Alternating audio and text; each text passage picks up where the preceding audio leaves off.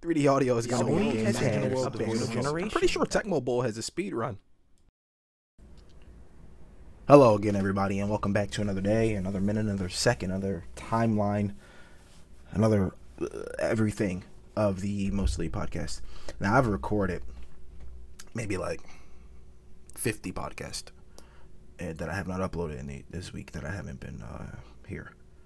And I've, I've, I've explained why I haven't been here in those other podcasts. Uh, the short answer is I had dental surgery a while back, and I had to recuperate from that.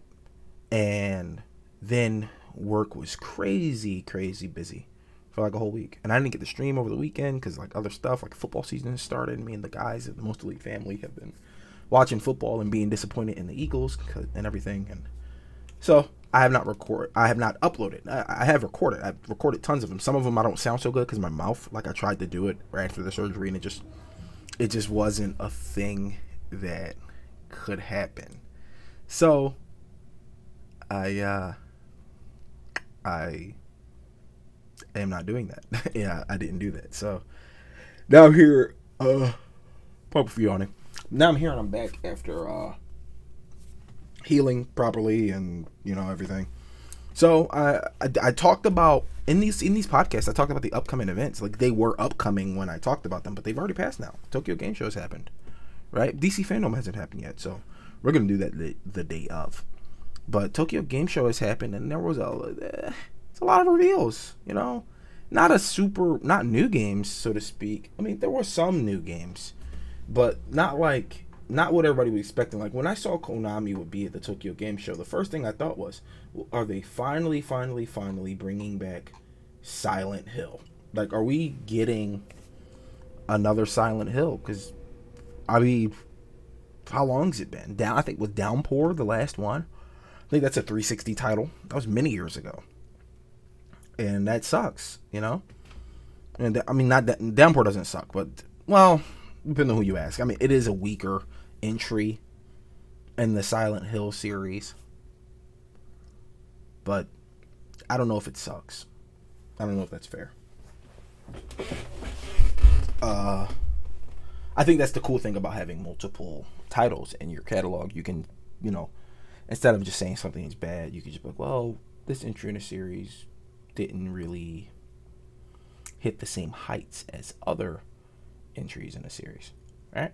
You can say stuff like that, and it, it's more political. You know, it's more uh, easier to digest to fans. Like if there's a Downpour fan fan out there, they would take that over saying Downpour's fucking dog shit. Now, I mean, maybe there's a Downpour fan out there who agrees that it's dog shit. Like I do. Like my favorite movie of all time is Dude, Where's My Car? It's a terrible movie. It's not good. It's not even funny really, but I just love it.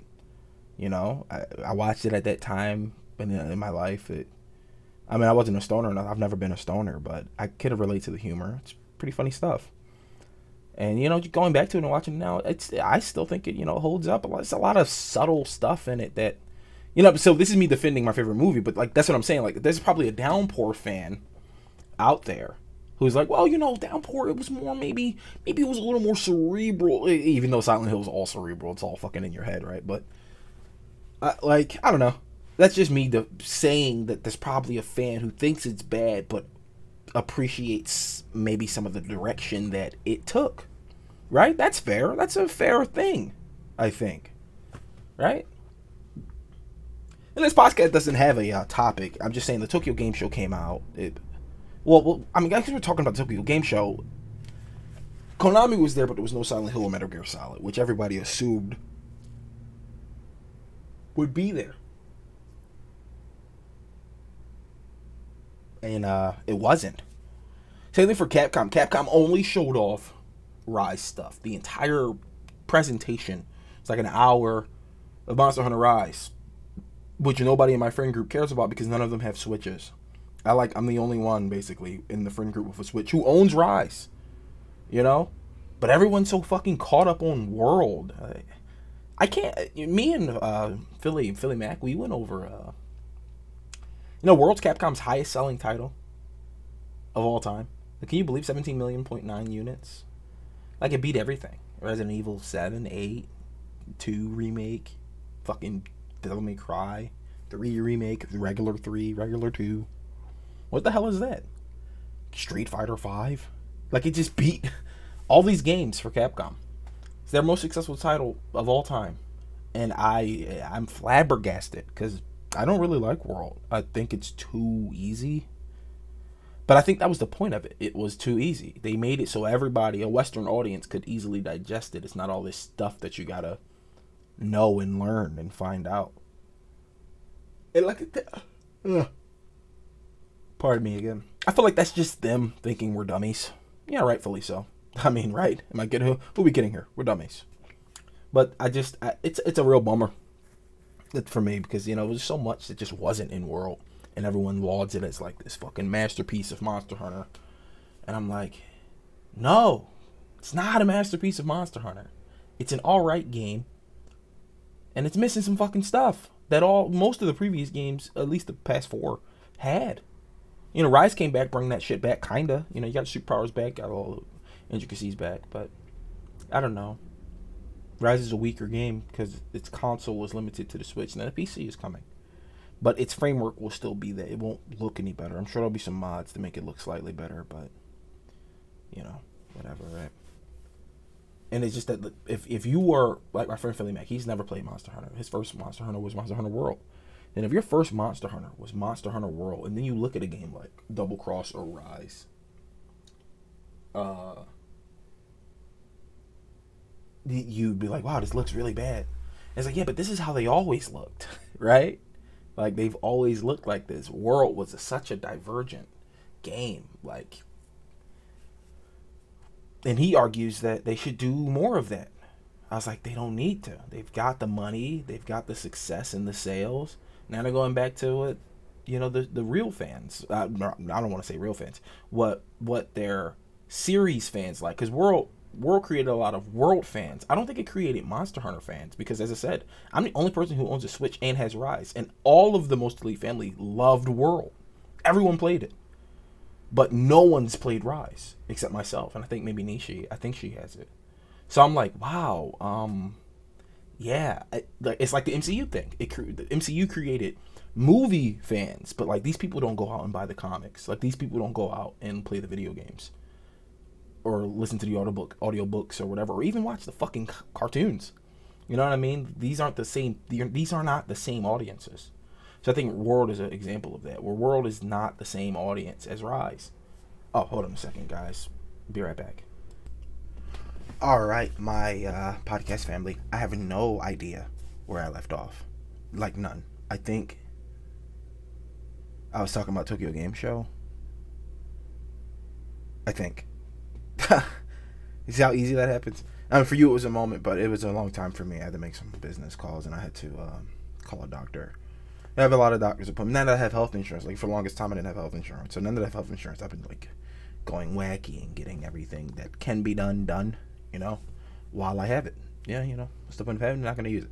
So I got the mouth surgery, and then they're gonna look into doing more. I got tons of mouth surgery into next year. Like my mouth is like the worst part of my my body, which is funny because I use it all the time to do this and to just communicate. So, isn't it awesome? Anyway, Tokyo Game Show, I think we uh we left off there. Man, I, I really can't remember what I was talking about. Silent Hill, and we did uh My Car, but that was sort of a tangent. Darn. Yeah, it's the, it's the problem. It's the it's the risk we run. We, we the risk we run, dude. That's a tongue twister. And if anybody out there can send me audio or post in the comments the risk we run, r- the risk we run five times fast, you'll be my favorite person. Uh, so yeah, um, I have no idea where I left off, but we are talking about the Tokyo Game Show. We're just hanging out. We got, we got uh what did they really, what did they show? I mean, aside from Capcom, oh Capcom, we're talking about Monster Hunter. Capcom's we were talking about Monster Hunter World and the fans. Okay, there we go. Yeah, so Capcom's presentation was on the Monster Hunter Rise. They were introducing Sunbreak, which is their new mainline DLC. A, they have a crossover with Ghost, Ghost and Goblins, which you know Arthur's armor and stuff in the game and a spear. Pretty cool. Konami. I honestly don't remember what they did. The Tokyo Game Show was really weird. It wasn't like how I expected it to be. Probably because it was online. Square Enix showed off Forspoken's trailer again. They also showed off uh, the prequel Final Fantasy game that I'm interested in, the Origin one, the Heroes of Light Origin, which is pretty cool. Uh, they also showed off another Final Fantasy VII spin-off for the phone called Soldiers, which is you know pretty cool too. I don't use mobile. I'm not a mobile gamer. I use PC mostly and console when, a game that comes out on it. So yeah, I don't. I don't care about the Soldiers one so much. It's just cool to see. Yeah, they know where the money is. The Final Fantasy uni- Seven universe is pretty. It's a cash cow kind of, you know. But yeah, I mean, honestly, I, I guess I could pull out. Let, us pull it up. Let's let's let's actually talk about it because I don't want. I don't want to like, you know, give it short short shrift. Short is that is it short shrift? Is that what it's called? I don't know what it's called. Stranger of Paradise. That's the one. The Final Fantasy Origins, and I think, I think it might be a good job. I think Demo Two is coming out. Uh, or Demo 2 is out and it's available until October 11th. So I think we'll download Demo 2, maybe upload it to the channel. Maybe we'll play Stranger Stranger Paradise Demo 2. Turn the PS5 on. What do you think of that? You know? Forspoken, yeah, they did the Magic Parkour system announcement. Uh, I'm really. I want to play that game. Firstly, because its sense of movement and momentum look stellar, like the way you bound and leap from place to place, and it just feels kinetic. Like I love that. I love the kinetic. I love kin- kin- kinetic motion in games, like that Mirror's Edge and stuff like that. I love like feeling like I'm moving. Most games don't really pull it off so good, but that one looks like it, it's gonna feel like you're gonna feel that momentum, and I, that's what I, I love that. So that looks really interesting. And like the the world set, it's a Square Enix world, like Athia, and it's like monsters and dragons, and there's like this cool lady with this goblet head thing who has magic powers. I mean, I don't know. I mean, but it's also weird and medieval, so you know it's an adventure game. Like what did they say that the, the four four components of an adventure movie? What I think of just of an adventure is a historical setting. So like this game is like it's like weird and medieval. There's castles, right? So we get the historical setting. Uh, a quest for a quest for an object, mostly magic in nature, right? Danger, and one other thing. I, I can't remember the fourth thing, but this game checks all the boxes. So I do think it's going to be pretty sweet.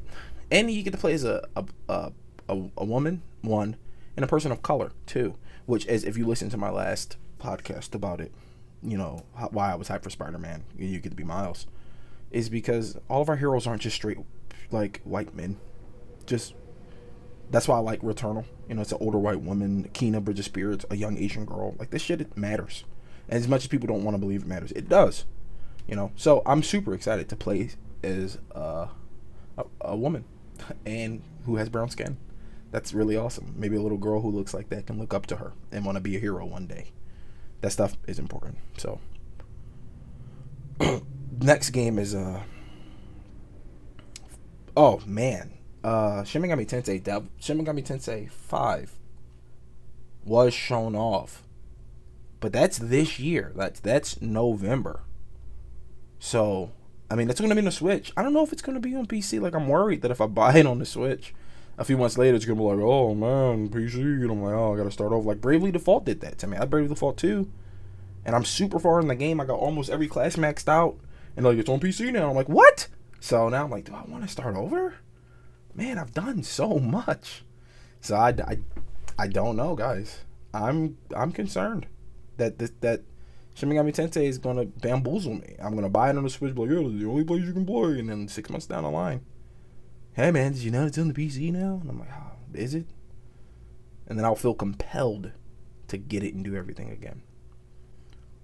Yeah, Final Fantasy VII: The First Soldier. Yeah, we talked about that. I don't. I'm not an iOS gamer or or Android gamer, so it doesn't matter to me. You know, Atelier Sophie got another game. Getting is getting another game. That's cool. The Atelier series has been going on for super, super long. Uh, Sega has an RPG called Sin Chronicle, but again, it's mobile, and uh, I I don't know about that. All right, Square Enix is releasing a RPG Dungeon Encounters. I mean, it's a dungeon mapping game. If anybody who's played like Etrian Odyssey, think of that, but top down. So, Monster Hunter Rise is another one. It's coming to Steam January 22nd. We talked about that earlier on PC. So maybe when that comes to PC, the gang will actually play. They don't have switches, but when it comes to PC, you know, there's you know, we'll all play together. You know?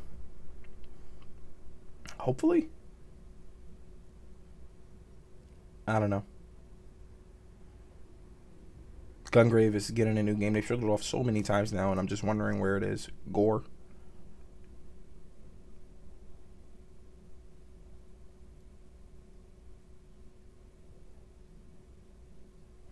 um, Tango GameWorks, now owned by Microsoft because they were part of Bethesda, they are making a new game, even though they're they're they're finishing Ghostwire Tokyo. Shinji Mikami, he's uh he talked about that uh, John Johanas, the director of Evil Within Two, is hard at work on a new game.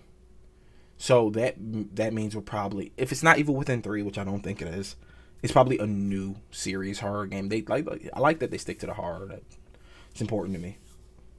I don't know, man. I I hope I hope all these things like pay off. I they're not all just duds. I've, I've been feeling like we've been having years of duds lately. Like games just aren't. They just I don't know. What do I know? I'm just some guy talking at home. Lots of games though. Lots of games, guys, to to digest. I hope they're good. I'm looking forward to the DC Fandom event. You know, Tokyo Game Show really had just they they they weren't many game announcements like we expect from like a Game Awards or something like that. It was really just presentations with uh, around one game. Pretty much every every every one of the presentations were around one game. And I'm not upset about that. It just, you know, I thought it would be more more trailer centric so I could have more to talk about. Anyway, that's our time this week, guys. Thank you again for listening as always and following and subscribing. And even if you don't, thank you anyway. We'll see you next episode, which will be very soon. I'm gonna upload this one today. This is today. Whenever you're listening to it, that was the day. right? But yeah, we'll see you guys soon. Thank you. Bye bye.